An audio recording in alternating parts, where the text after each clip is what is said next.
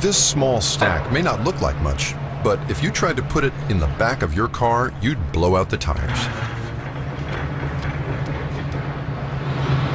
There are a lot of guns here right now. It's uh, it's kind of nerve-wracking to be around it. The gold is met at the loading dock by the Fed's vault auditor and its custodians. We have over a ton of gold right here, and street value today is over $55 million.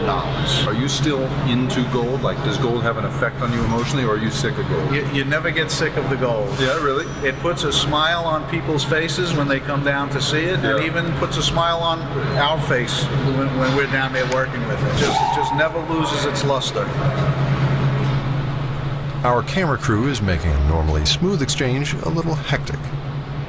They're obviously a little nervous about it because this is this is a first. There's not a lot of hanging out with the gold just sitting here.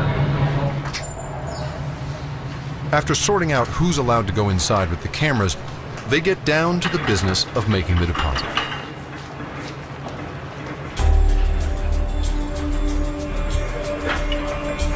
There's an almost sacred ritual that handlers go through when moving gold.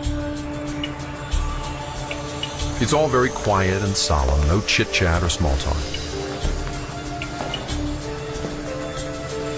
The armored truck company's drivers are fully responsible for the gold as they descend 80 feet below street level to the world's largest underground gold vault.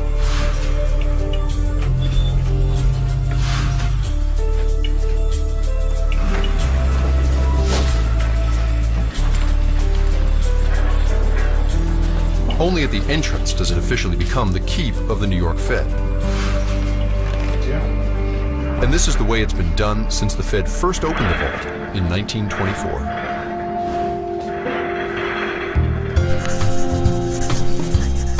The New York Bank is one of 12 that make up the Federal Reserve System. Together, they're like the ultimate piggy bank, a place where your bankers bank. And if there's a financial panic, the Fed acts as a lender of last resort. That creates a kind of trust in the entire system. So from the beginning, Fed banks were built to look imposing, like fortresses of money.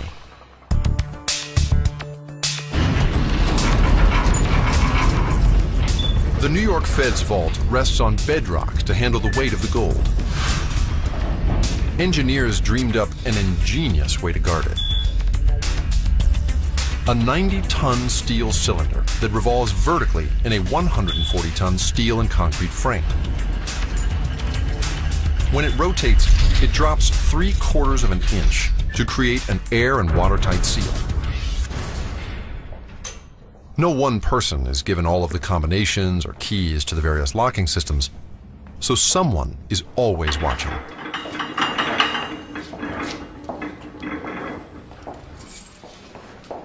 So now there's three of you. It takes three people to open the door? Yeah. I see. two vault custodians, and an auditor.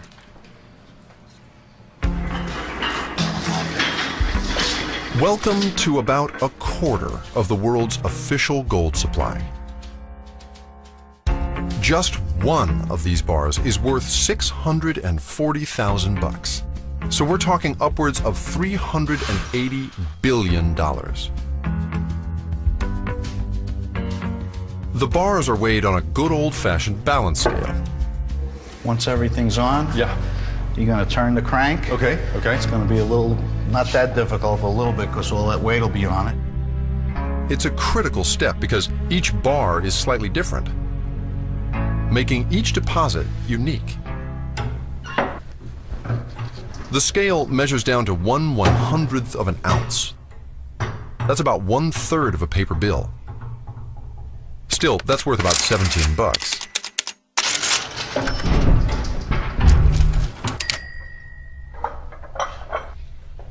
Ron here has stood as guardian of the gold for 40 years.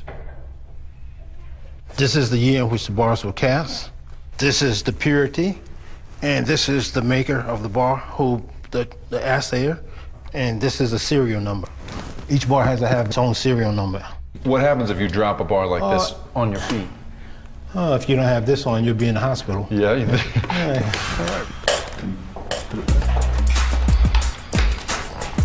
All right, so I'm about to pick up $640,000 as- is a life-changing sum of money. Whoa, whoa. It is so much heavier than you think it's gonna be. Gold is very dense. Wow.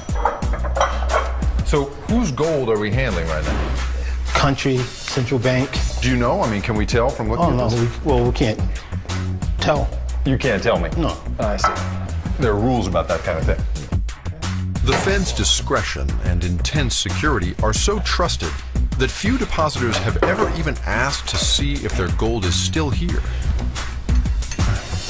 So let's say that, you know, one of these bars got out of the vault, God forbid, and out into the street, and somebody melted it down. Would there be any way of identifying this gold again? Not if they melted it down. No. But if they tried to sell it like this here, it, they would find out. For thousands of years, people used gold as money. And why not? It's shiny, it's pretty, and like the man said, once you melt it down, it's untraceable. Or put another way, it's the perfect recyclable money.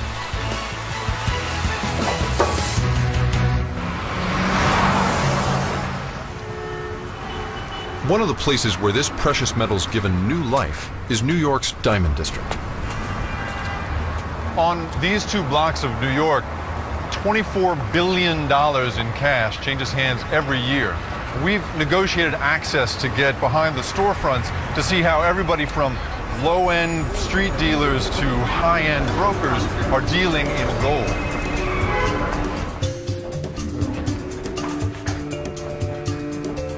Hello. Hello, how you doing, sir? Very good. Alexandra Rogovsky has a hefty chunk of that 24 billion inside his bag. Selling today? Uh, got some gold, got some silver bar. He has gold to sell, a lot of it, and he's about to find out what it's all worth. I was wondering if you can tell me what I can get for this. Надо что, пускай тянут, реально пускай скажут сумму. Когда если, послушай, если они 14 берут, пускай тянут и 3 недели. Is this 14? Dmitry Najinsky is one of hundreds of brokers who work New York's gold district. 14 karat. Business is booming. When there's a financial crisis, people tend to look for security in gold. Here is 18 karat. Yeah, it goes up and down. But now it's better than other times because it just came came up from 1500 so you're selling it at the right time. In 2010 alone, the price of gold hit record highs 22 times. We pay top dollar for your gold. The gold comes in from all walks of life, so it helps that Dmitry can speak five languages. around, you come back here, okay? Sam dajca dira arta chude, aki chave. 48, $14,064 for 14 karat gold. Then you have 10 karat gold, I can give you $1,800 for that. The coin, this coin is the pure gold, right? So this is $20,900. I'll give you $11 difference so you can come back to us. Thank you very much.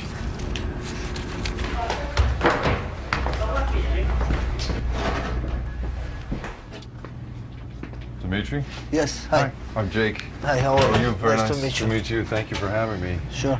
And how, how much do you see in a day? How many people come through here? In the day, it depends. Uh, it could be anywhere from 5 to 50, 70 people a day. What happens to the gold once you've got it, right? You, bought, you buy a day's worth of gold. What do you then do with it? Once we buy gold, let's say we buy, this is about 20, $25,000 worth of gold. Okay. Once we buy this gold, we melt it down to a small brick, and then we have it tested and sell it. Can I, can I watch you Sure, melt it down? definitely, I'd sure. like to see it. Now most of the jewelry we have is 14 karat. The nooks and crannies of the gold district are full of places like this. Millions of dollars flowing in and out. Some, like Dimitri's, even have a foundry in the basement.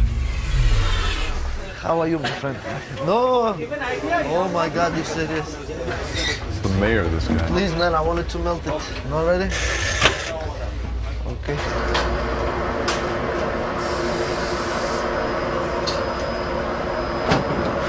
It's kind of an amazing thing, right? This is, you know, people's memories, their treasured heirlooms, Some of it was in the ground a thousand years ago, some of it was a pair of earrings a thousand years ago, and now it's all been melted back down again, and someday it will be somebody else's heirloom.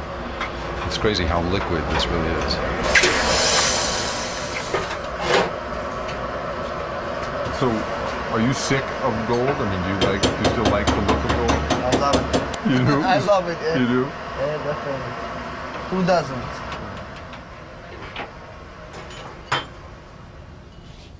The gold that leaves here is recast and reborn as another person's treasure, continuing to make money along the way.